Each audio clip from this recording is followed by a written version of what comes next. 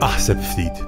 Ftaħna s-sena 2015 u għal persuna uċija queer l-unika espressjoni pubblika tagħha tiġi biss minn kemm għandha kuraġġ tiġġielet in-normi ta' madwara jew minn kemm għandha kuraġġ titla' il-bot mill-gżira.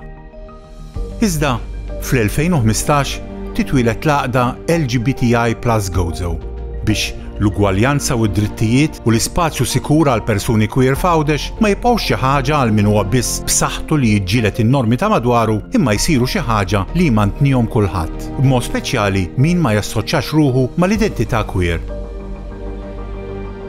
LGBTI Plus Gozo, ma ġabet xejn ġdid, ġabet biss għarfien ġdid u kuxjenza ġdida dwar id-diversi identitajiet li dejjem kienu fostna, forsi biss moħbija. Iż-żmien li naħbu u ninħbew issa għadda.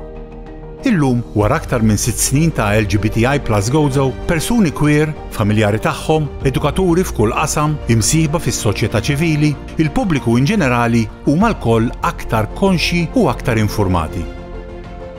Illum, wara aktar minn sitt snin ta' LGBTI Plus Gozo, is-servizzi speċjalizzati tas-saħħa, l-opportunitajiet tax-xogħol u s-sigurtà għall-persuni queer m'għadhomx trattament speċjali jew privileġġ mogħti lilhom mill-bqija tas-soċjetà, imma dritt bażiku daqs kull dritt ieħor.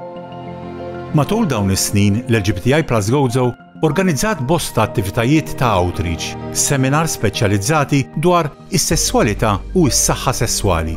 Waqqfet il-Youth Hub għal żgħażagħ li jridu jiltaqgħu u jaqsmu esperjenzi li jiswew ta' għajnuna lil xulxin u l-proġett We Stand With LGBTI Plus Gozo.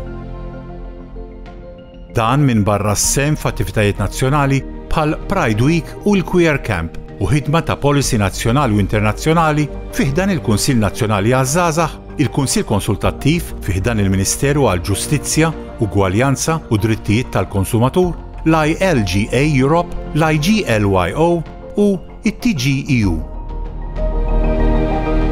LGBTI Plus Gozo. Aħna bil-volontiera attivi u 'l fuq minn mitt membru qegħdin hawn għal kulħadd għax fuq l-identità queer jeħtieġ jitgħallem aktar kulħadd. Jekk qatt kien hawn għaqda miftuħa għal kulħadd, bla bibien, bla fruntieri u bla kundizzjonijiet, LGBTI Plus Gozo.